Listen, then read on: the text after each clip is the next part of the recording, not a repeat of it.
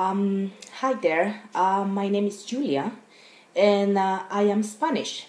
I live in Spain at the moment, uh, although almost all of my professional life I've worked abroad. I wanted to have some kids, so I came back to Spain when I got first, first pregnant.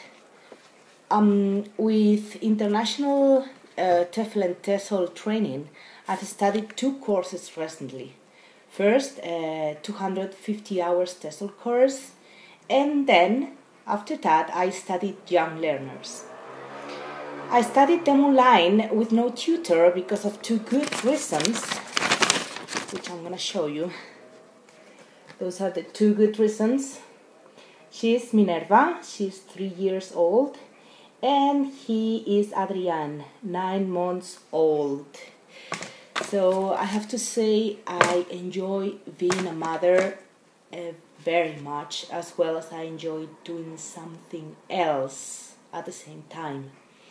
Studying with international TEFL and TESOL training online uh, has been perfect for me. I can take care of my kids and uh, dealing with all daily stuff of the house. I can study at my own pace, even two different um, highly interesting courses. International TEFL and TESOL training service has been great.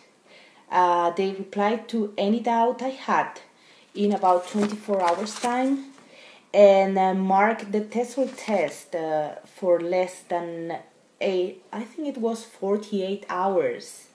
So it's quite good. If you're still thinking about which course to take, but you have a busy life like me, uh, please do not doubt anymore, as International TEFL and TESOL training is a great solution for your personal and professional life. Teaching English, here I come.